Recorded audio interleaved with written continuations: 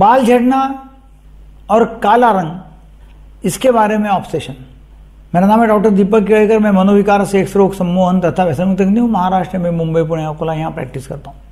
हम online consultation करते हैं वीडियो कॉल्स करते रहते हैं.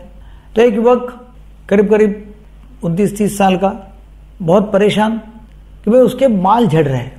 सुबह सुबह उठता है, कंघी करता है तो काफ़ी सारे बाल निकल आते हैं. वैसे भी रात को उसको लगता है कि भाई अपने तकिए के ऊपर बहुत बाल झड़ गए हुए स्नान करने के समय बहुत बाल जाते हैं। और फिर उसको मतलब गंजा भी हो रहा है। तो लोग चिढ़ाते हैं। उसको लगता है कि मेरी शादी कैसी होंगी? शादी होने की बाकी है। गंजे से कोई लड़की देगा। गंजे के साथ में कोई शादी करेगी लड़की? लोग क्या कहेंगे? ऐसे बार बार बार बार विचार उसको आते रहते हैं। अब उसके साथ साथ उसको ऐसा भी लगता है कि भाई, मैं इतना दिखने में गोरा नहीं हूँ, काला हूँ।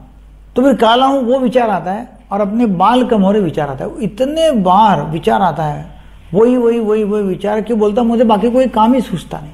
कुछ नहीं कर सकता। पढ़ाई बंद की काम बंद कर दिया। बोले, मैं ऐसे चक्र में अटका हूँ, ऐसा लगता है कि भाई वही विचार वही विचार कहाँ ब्रेक करूँ? मैं थक जाता हूँ विचार करते करते। ऑटोमेटिक विचार आते रहते हैं। ऐसा लगता है कि अभी खुदकुशी कर डालू। ये विचारों से मतलब कैसा छुटकारा पाऊँ? बाकी कोई विचार ही नहीं, बस यही विचार आता पागल जैसा बिल्कुल। ये ऑब्सेसिव कंपल्सिव डिसऑर्डर का बहुत ही अच्छा एग्ज़ाम्पल है। उसमें वो डॉक्टरों को कंसल्ट भी करता है। किसको कंसल्ट किया डॉक्टर को तो उसको अच्छा भी लगता है कि चलो कोई क्रीम लिख के देंगे थोड़ा सा रंग काला है तो या बाल नहीं जाएँगे।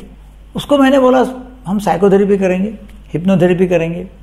और उसमें, उसको मैंने रैशनल इमोटिव बिहेवियर थेरेपी दिया आर उसको मैंने वो बिहेवियर थेरेपी के स्टेप्स तो बताना अभी मुश्किल है, मगर मैंने उसको ये बताया कि ठीक है, जो है वो है। उसका मीनिंग तो ऐसा लगा है कि मैं दिखने में अच्छा नहीं हूँ, मेरे बाल झड़ रहे हैं। इसका मतलब ऐसा है कि मुझे कोई लड़की पसंद करेगी नहीं। इसका मतलब यह है कि मुझे कोई लड़की मेरे से शादी नहीं करेगी। इसका मतलब यह है कि मैं दिखने में बहुत ही ठीक नहीं हूँ। इसका मतलब यह है कि मेरे बच्चे भी ऐसे होंगे क्या? मैं अभी बहुत भुगत रहा हूँ, मेरे बच्चों को भुगतना पड़ेगा क्या? मुझे अच्छी बीवी नहीं मिली तो क्या है? समझो, उसने मजबूरी में शादी कर लिया, कोई लड़की ने, और बाद में उसने झगड़ा किया तो फिर क्या है? ऐसे अनेक अलग अलग विचार आ रहे हैं। ये एक विचारों की श्रृंखला है कि जो आ रही है। और क्या विचार कर सकते हैं? दूसरे और क्या विचार आ सकते हैं? और आप कौन से विचार कर सकते कि जो आपको पावर देंगे?